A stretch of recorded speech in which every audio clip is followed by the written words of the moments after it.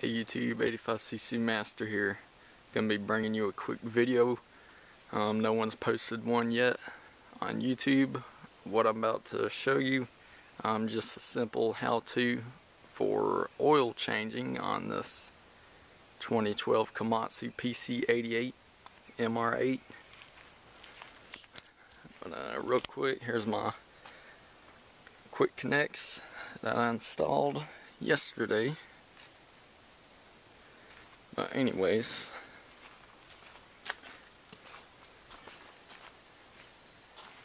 here's the oil filter location. I'll put a Fram on here, PH3614. Here's the oil filler. This cap simply just pulls out and pushes right back in. Right under here is the oil pan. There's the drain plug.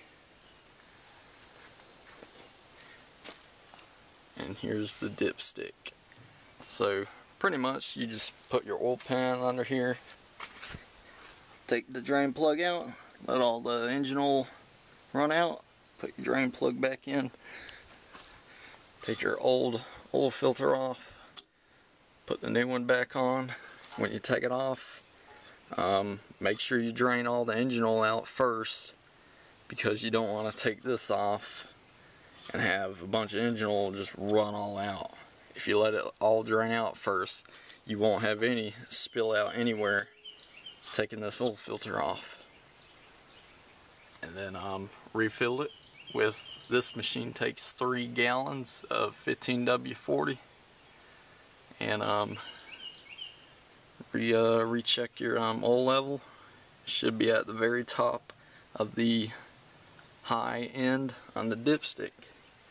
And run it, recheck it again, you're good to go. And I also blew out the air filter.